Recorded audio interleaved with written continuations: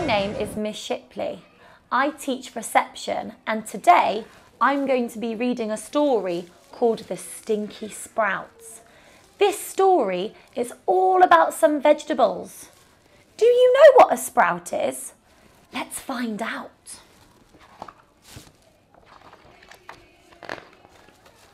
Here we go. In a faraway kitchen, there lived lots of food. Do you know any of these foods? We have a cauliflower, an onion. Let's see who else. Some were silly, some were clever, and some were rather rude. I wonder why they're rude. The carrots were sporty. The beans enjoyed books. Like us, we enjoy books. The turnips told jokes. And the leeks loved their looks. Although they were different, they hung out each day. But one group was never allowed to play.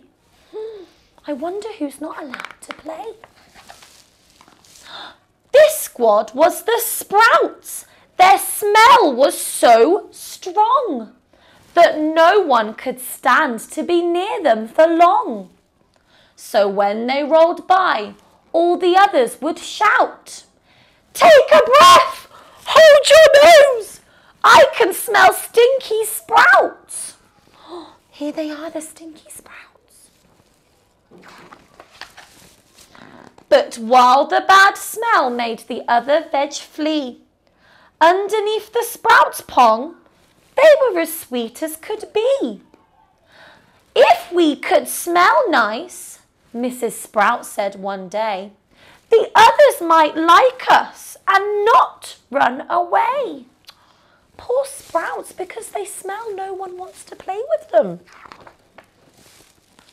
So all of the sprouts got together to think.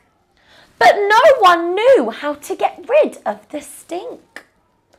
At last, Sadie Sprout said, Come on, follow me.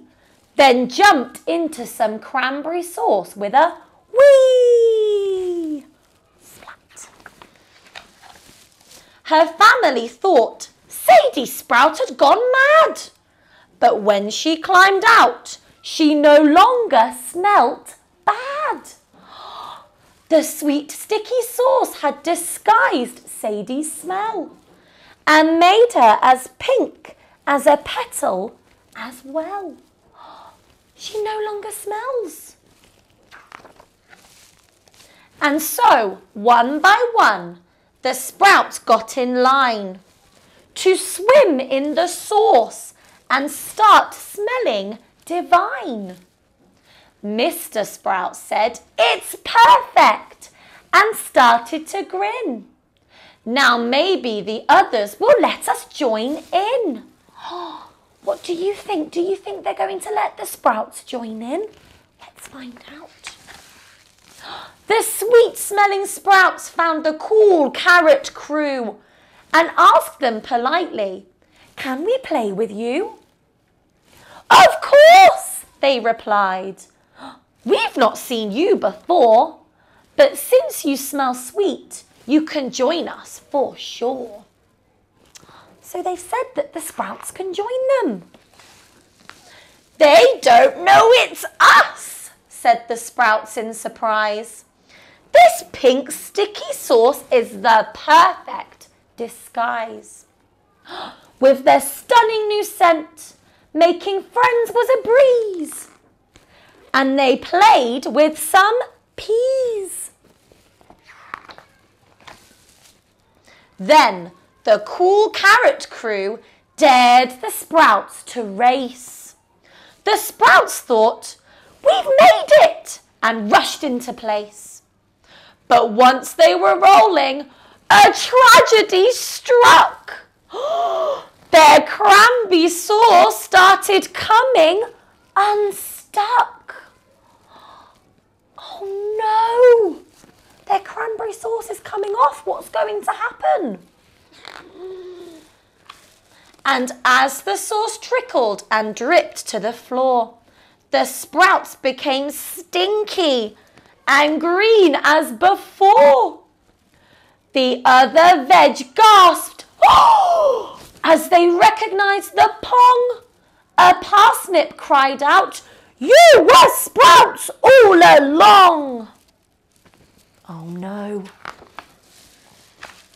Sprouts turned to leave, but their friends shouted, No! Today was such fun. We don't want you to go. They said, We thought nothing smelt worse than a sprout, but we were the stinkers for leaving you out. So they realised they weren't being kind. They were the ones not being very nice. The others had learnt that their actions were wrong. They shouldn't have judged all the sprouts by their pong. So from that day onwards, the groups got on well and they loved the sprouts dearly in spite of their smell. And that is the end of the story today. I hope you enjoyed that little tale about sprouts and I hope you have a wonderful Christmas and a happy new year. 拜拜。